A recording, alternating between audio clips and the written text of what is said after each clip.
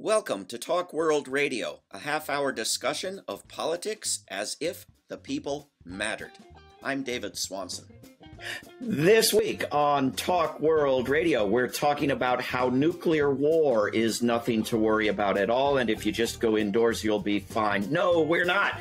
We're talking sensibly with someone who knows what they're talking about, about nuclear weapons. Our guest, Jackie Cabasso, has been involved in nuclear disarmament, peace, environmental, and social justice advocacy at the local, national, and international levels for more than 40 years.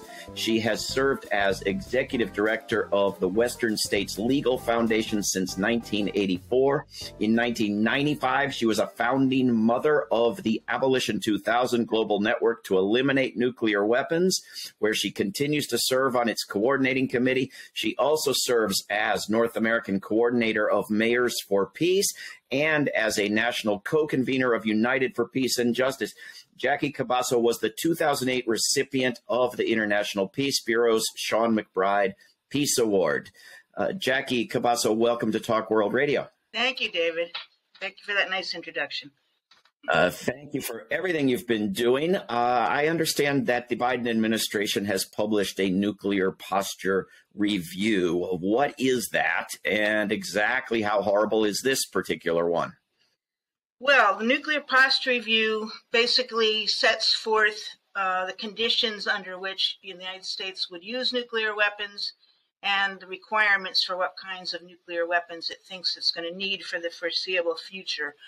Um, the first one came out in 1994. They usually come out under every new administration. And for the first time, this is a bit interesting. It's embedded in the National Defense Strategy and it's accompanied with also a missile defense posture review, and the three are packaged together. So I don't know how significant that is, except that it definitely puts nuclear weapons in the context. and yeah. how horrible is it? Well, you know, it's slightly less horrible than Trump's, but it's it's basically a, con- a continuation of all of the previous ones, and in fact, it reaffirms what is obvious to me that U.S. national security policy premised on the threatened use of nuclear weapons as its cornerstone has been continuous since 1945, since President Truman, a Democrat, oversaw the U.S. atomic bombings of Hiroshima and Nagasaki. And it doesn't matter whether the government is um, dominated by Democrats or Republicans when it comes to to nuclear weapons. Um, it really is this particular one. I would describe as a missed opportunity at a critical time. This is one of the pivot points in history when somebody, some responsible government, if there are any, needs to stand up and be the adult in the room and say, we can't keep going this way. This is the road to nowhere there's got to be a change, but they didn't change it. So it really comes as, at this time, it's kind of like pouring gas on the fire. I wonder, Jackie Cabasso, if you could explain what this quote means and, in particular, what vital interests are.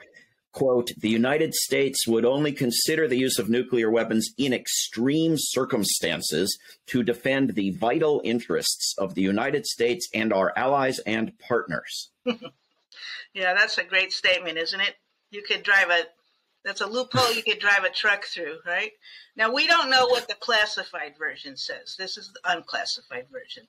Perhaps there are more uh, details in the classified version, but I read that to mean basically very much open to interpretation. U.S. vital interests certainly would include like foreign um, deployed troops, U.S. bases around the world, which are everywhere. Um, vital interests would be any country that's considered to be a U.S.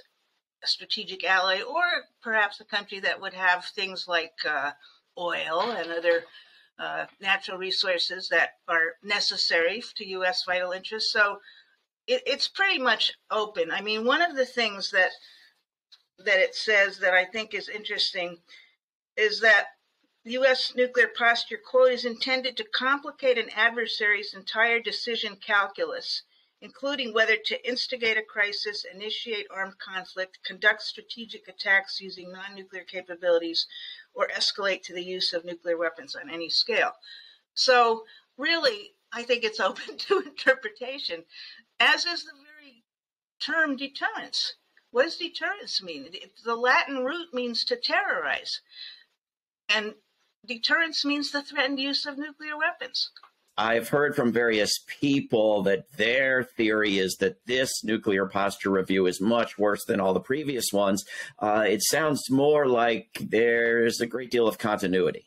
Yeah, I don't think it's it's not worse. I mean, it it could not be worse than the Bush nuclear posture review, which is which is where the famous axis of evil was identified, and seven countries were named as U.S. nuclear targets. So I don't think it's it's not quite as bad as that and it's slightly better than Trump's. Um, but the continuity is the main thing, and I think the tone of this one is a little bit aggressive coming at this time. I mean, if it's not more aggressive than Bush or Trump, but it, again, it seems just unnecessarily aggressive, and and just it does it's not helping. it also identifies Russia and China as near-term um, competitors, strategic competitors, and potential adversaries. It says for the first time in the 2030s, the U.S. will have two of these near-term competitors. So, you know, it's very much focused on them, but it also, you know, trains its sights on North Korea and Iran. Um, and says, you know, they will not be allowed if if if North Korea employs a nuclear weapon, it, the regime will not survive. Iran will not be allowed to have a nuclear weapon. So it, it's positioning the United States, you know, as as the nuclear cop, you know, instead of couching it in terms of multilateralism and, and internationalism and the UN and so on. I mean, this is always sort of a, a, bit that gets mentioned at the end of analyses of these nuclear documents. Uh, and one question is why they're in nuclear documents. But it seems really the big deal uh, that we never get any public vote on uh, picking picking competitors and whether we need to have competitors in the first place, and uh, sort of identifying competitors as enemies and and picking enemies. I never got to vote on whether I wanted Russia or China or Iran or North Korea as an enemy. Uh, I mean, isn't this like the worst bit of this thing, even if it's not called an axis of evil? Well, sure. I mean, the, you you never got to vote on whether the United States should have or should maintain or should modernize nuclear weapons, right? Nuclear weapons are fundamentally undemocratic and perhaps one of the most undemocratic manifestations of the of undemocracy that we experience because nobody in any country has had a vote on this.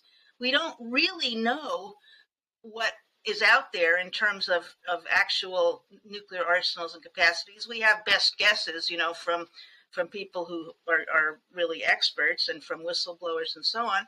But it's so the technology is so dangerous that it's it's it has to be completely secretive and guarded. So it's you know you you're right on. It's absolutely fundamentally undemocratic, and we don't even get to vote on it indirectly because candidates don't talk about it either.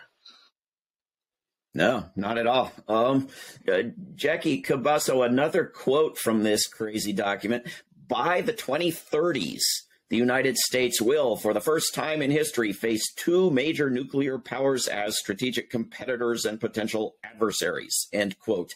Uh, but is that if we do everything to make that happen for the next 10 years? Or is that even if we advance peace and disarmament for the next 10 years? I mean, is this a, a self fulfilling prediction or an objective observation? What is this? Well, they certainly don't provide like an a set of options. If we do this, then this, you know. I'm afraid I'd have to agree with you that it's kind of a self fulfilling prophecy. Now, we don't know. We don't know what would happen if the United States took a dramatically different course and said, okay, we're, listen, world, things are out of hand. So we're going to take some leadership. The United States is announcing, let's say, we're going to cut our military budget by half. We're going to close half of our foreign military bases and stop all non-ionization programs. Will you come to the table or something? I mean, this is a ridiculous hypothetical, but I'm just saying, some doing something dramatic to to sound the alarm that this is unsustainable. This is a self-fulfilling prophecy. Do we really want to end with, you know, a nuclear war or do we want to do things differently, you know? And this is the, the, the, crisis, of course, is compounded by the environmental crisis, the climate crisis. I just saw a report today um, saying that uh, an expert report uh, coming through the UN. I, no, it was coming through the COP27. Sorry, um, that would we have nine years to meet the climate targets, or or we're toast. So, do we want to be toast from that, or do we want to be toast from you know a nuclear war involving the U.S., Russia, and China? I mean, it has to it has to stop. So yes, I think I think this is certainly, let's say, a contributor to a self fulfilling prophecy. I mean, Russia and China are not exactly good guys either, but you know somebody has to pull the you know blow the whistle. yes. You you uh, you mentioned deterrence and how it's actually a policy of terrorizing. Um, but is there actually evidence that nuclear deterrence or deterrence of any sort works? Uh, and and is there evidence that these people actually believe it works, as opposed to just using it as a justification? Well, I think to answer that question, you have to ask what nuclear deterrence is, and there actually is not uh, an agreed upon definition that everybody operates under. To me, I mean, it's it's. I think it's commonly understood as if country A uses nuclear weapons against country B, country B will retaliate with nuclear weapons. Therefore, country A will be deterred. But that's not really what it means. Uh, according to the head of Strategic Command, Admiral Richard, uh, nuclear weapons serve as a top cover or provide top cover to allow for the maneuverability of conventional forces. I think that's really important because that's what's I think that's what Russia is doing in Ukraine. Um, it's I mean, is is that deterrence? I mean, Russia might be deterring the United States from sending troops to Ukraine, but Russia's U.S. nuclear weapons can't, you know, can't do anything in that case, right? So what does deterrence mean? I, you know, so no, there's no proof that it works. I mean, what people offer as proof as proof is they say, well, there hasn't been a major, you know, war since uh, World War II. Well, that's a, questionable proposition anyway. But there are dozens of major wars, yeah. But, but but, but they also say if Ukraine still had nuclear weapons, Russia wouldn't be in Ukraine. What do you say to that? That that's a fallacious argument because those were Russian nuclear weapons, and Ukraine did not have operational control over them. So Russia would have had to turn over operational control to Ukraine when when the Soviet Union, um, you know, disintegrated. So that's that's just not a that's a fallacious argument. It's also to Ukraine's credit that it was one of many countries that has said we don't we need nuclear weapons. We don't want nuclear weapons. Nuclear weapons don't make us more secure.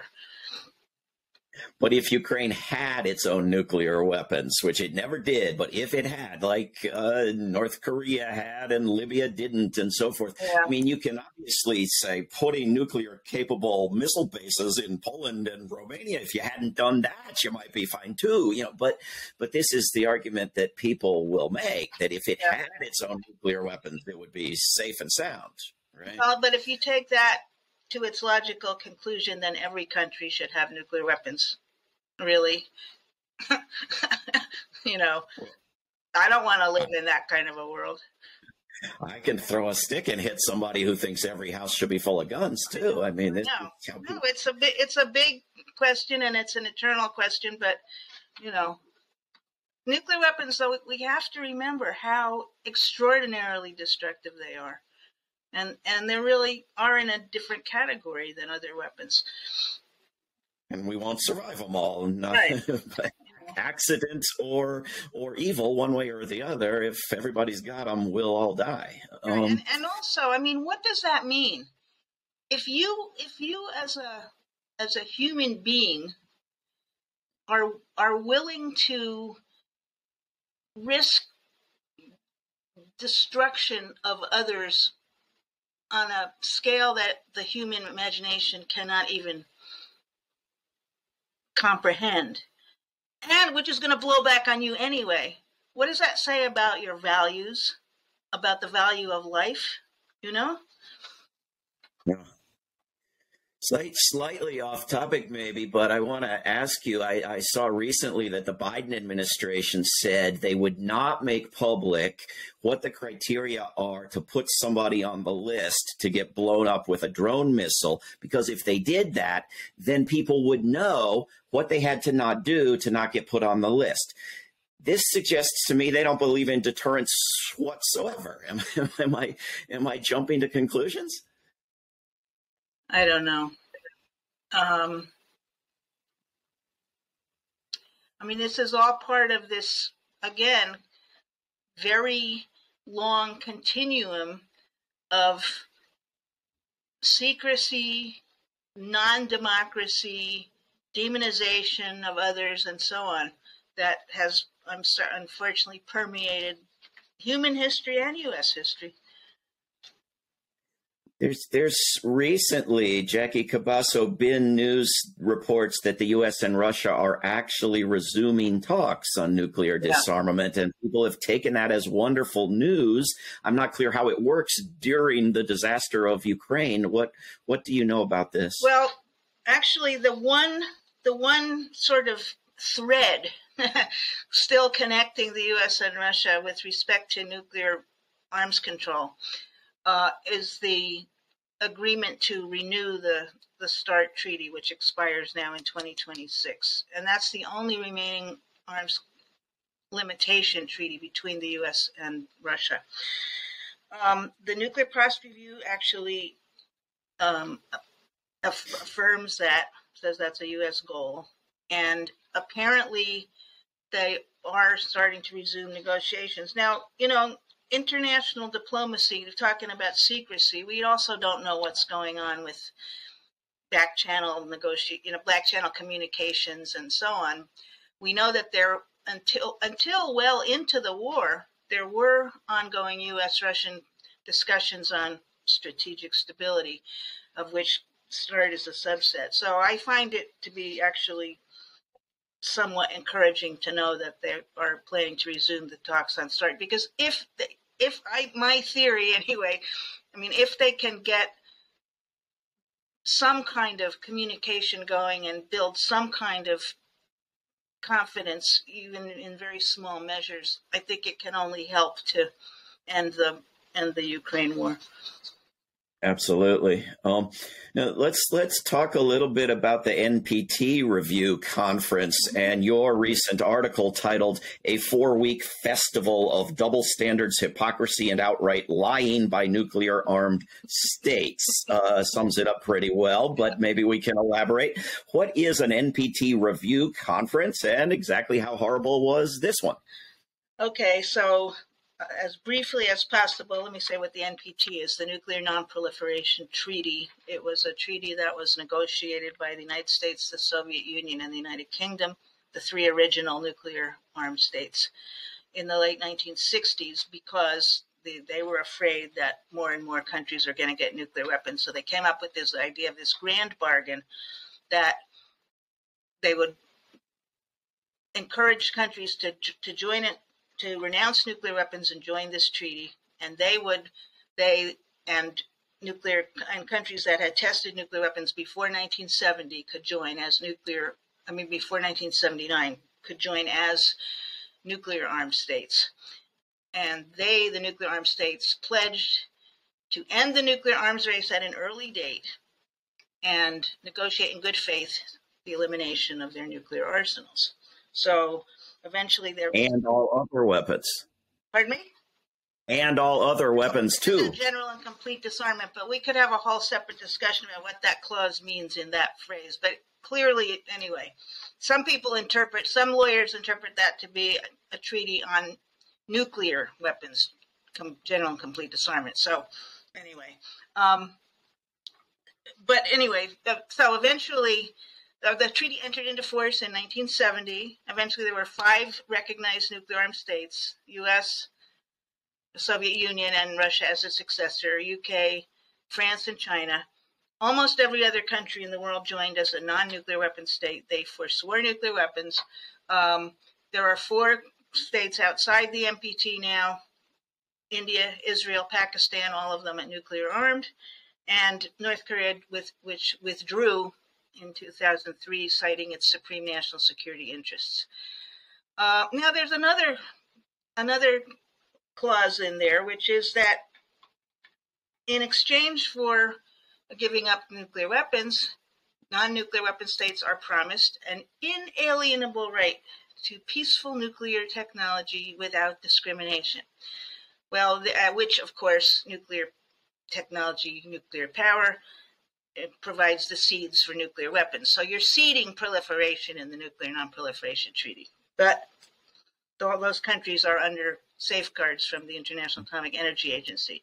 Just one more thing, to, uh, in historical note, Iran was the first country to join as a non-nuclear weapon state, uh, and brings up the clause about uh, inalienable right to peaceful nuclear technology without discrimination all the time, since the uh, provision of nuclear power, in fact, has been uh, provided in a discriminatory manner. But anyway, the, the treaty was extended indefinitely in 1995. Its original duration was 25 years.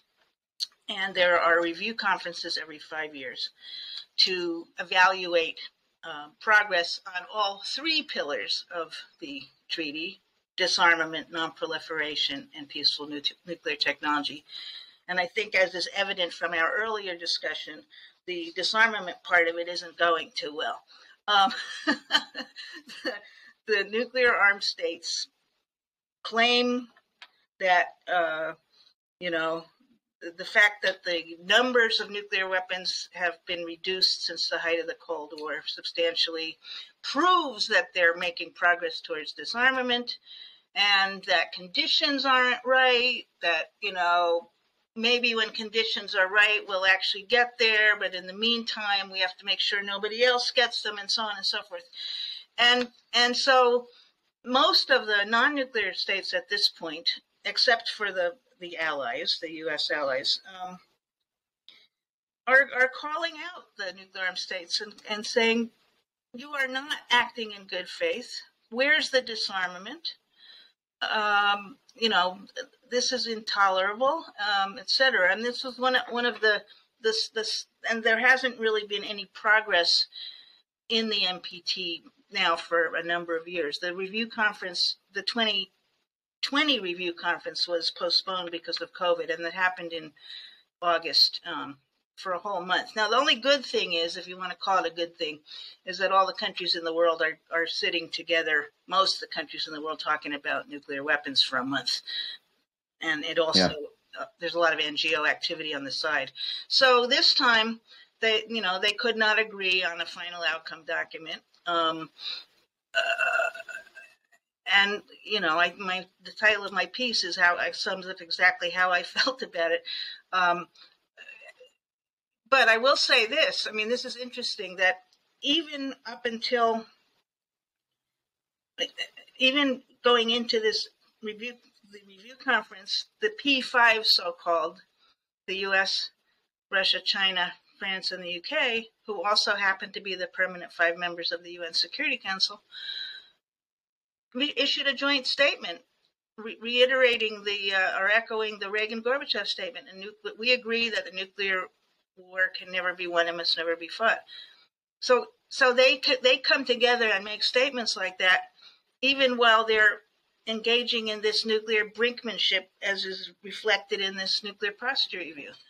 So, yeah, so the failure the failure of the nuclear armed states to make good on their disarmament commitments in the NPT was one of the impetuses that led to the negotiation of the Treaty on the Prohibition of Nuclear Weapons in, in 2017, which entered into force um, in 2021, and which now has over 91 signatories. But I have to note, and that makes the, you know, the development, possession, acquisition, stockpiling, threat, or use of nuclear weapons illegal but is not is only binding on those states which have signed and ratified it, and all of the nuclear armed states and all of their nuclear umbrella allies um, have have um, rejected the treaty. Yeah. Jackie Cabasso, we have just a couple minutes left, and I'd love to get your opinion. It's long been my view that new treaties, like the, the Treaty on the Prohibition of Nuclear Weapons, are wonderful things. I'm not against them in any way, shape, or form. I'd love to see it promoted to the hilt. Uh, but not a lot, not enough effort goes into trying to figure out ways to compel nations to abide by existing treaties or even to become aware of how strong they are and that they exist. Yeah. And that in a perfectly reasonable, I think, interpretation of the Non Proliferation Treaty, it requires them to hurry up and get rid of all the nukes and all the other weapons.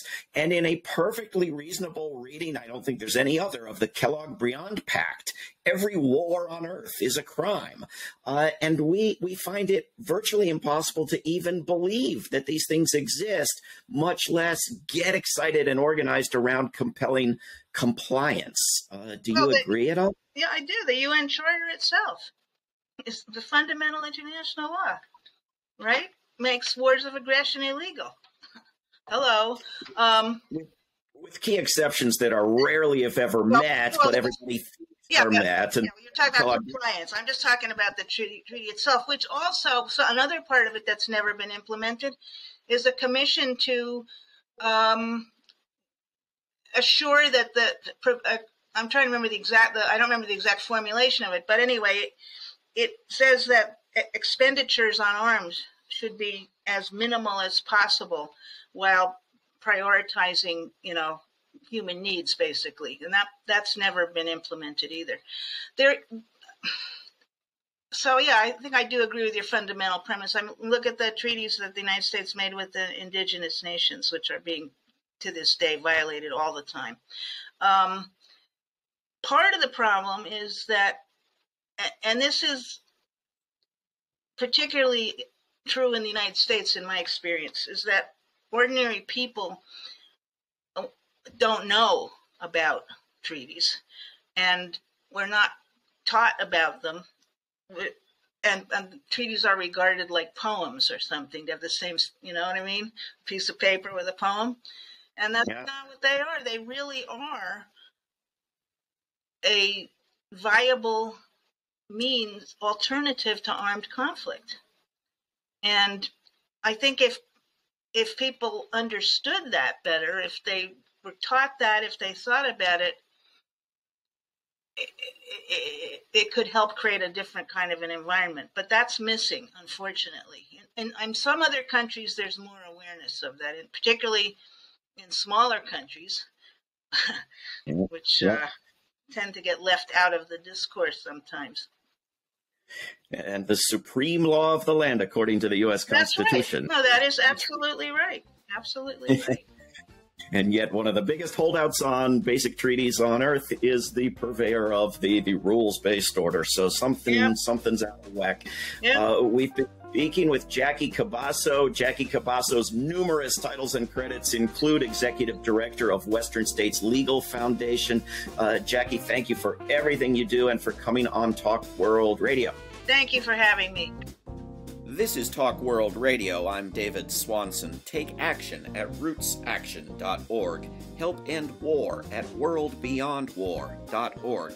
Read or listen to today's Peace Almanac entry at peacealmanac.org. All past shows can be heard at talkworldradio.org. Talk World Radio is produced in Charlottesville, Virginia, and syndicated by Pacifica Network. There is no way to peace. Peace is the way.